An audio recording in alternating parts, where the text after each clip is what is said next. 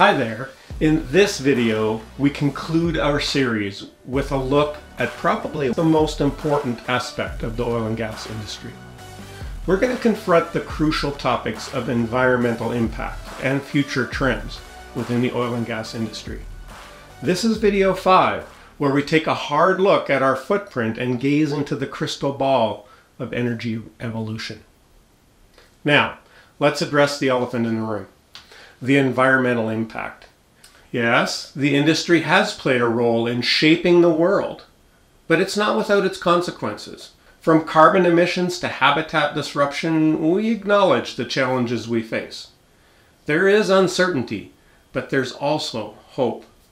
Sustainability initiatives are not just buzzwords or greenwashing projects. They're also a driving force of our industry's evolution.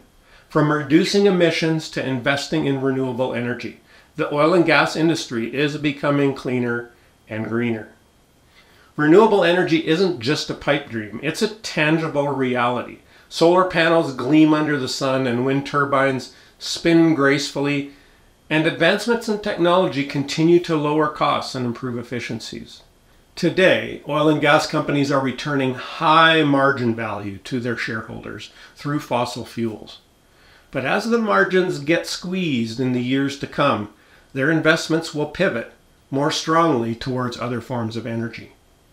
In the labs and research centers, we're exploring groundbreaking technologies from carbon capture and storage to biofuels and hydrogen production. We're pushing the boundaries of what's possible. The goal? A sustainable energy ecosystem that meets the needs of today without compromising tomorrow. Oil and gas engineers, technicians, and field workers are pioneers of change. Our industry is evolving, embracing the winds of innovation as it has multiple times in the last 100 years. Reducing emissions, generating green hydrogen, and direct air capture are all keystones of the path forward.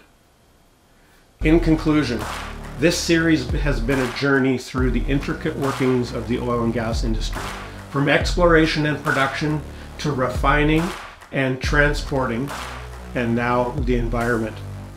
As we wrap up, let's remember the future is in our hands. We're steering the energy industry towards a cleaner, more sustainable horizon.